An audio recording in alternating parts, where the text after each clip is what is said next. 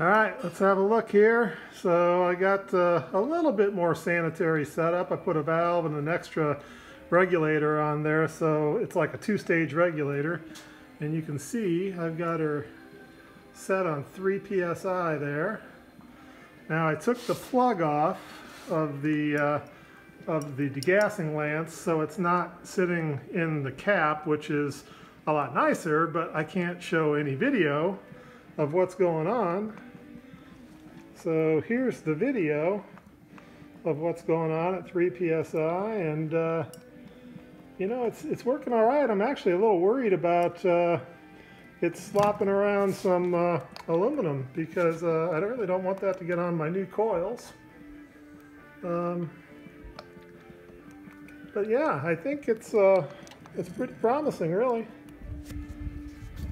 Yeah, um, so just to kind of show you what's going on here. Yeah, so there's, uh, and of course the coils are off, so don't, uh, no electrocution hazard there, but uh, yeah, it's looking pretty good. Um, sorry I'm kind of stumbling around here, but it's a little bit awkward to show you the lance and steady the lance when my lid would normally do that. But you can see um, it is boiling up some crud there. Um, it was skim before that, and I can definitely see dross uh, forming on top. Um, I'm thinking a crucible uh, hat might be in order. Um, sorry, I'm having a hard time holding it here. The heat's a little bit too much for the glove that I've got. There we go. It's sitting by itself now.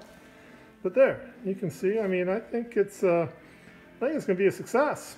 Yeah, I'm kind of liking it. Thanks.